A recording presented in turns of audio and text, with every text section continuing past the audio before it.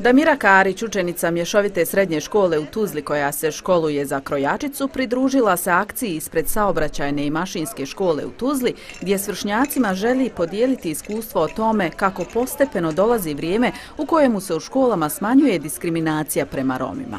U toj školi nas ima dosta Roma i mnogo nas profesori voli, ne odvajaju nas od drugih ljudi i danas smo ovdje zato jer e, smo svi isti i nema razlike između ljudi.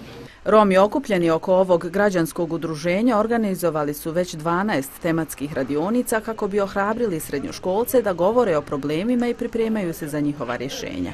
Jedna od radionica bila je upravo u mašinskoj školi koju pohađa Haris Tabaković i u njegovom razredu ima Roma. I super su, kaže on.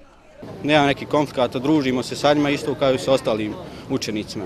Akciju udruženja Eurorom finansijski je podržala Američka ambasada u Bosni i Hercegovini. Ovo je jedan, jedna aktivnost što se tiče projekta, a između ostalog u sklopu ovog projekta se realizuju radionice na jačanju kapaciteta samih eh, kako romske omladine, tako i druge omladine kako bi stekli eh, određene vještine, kako bi mogli kreirati neke programe u narednom periodu.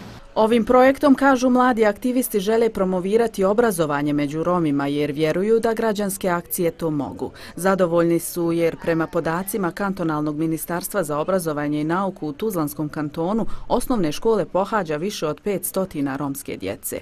U srednjim školama ima 103 učenika koji se izjašnjavaju kao Romi, a na fakultetima u Tuzli trenutno studira 7 Roma.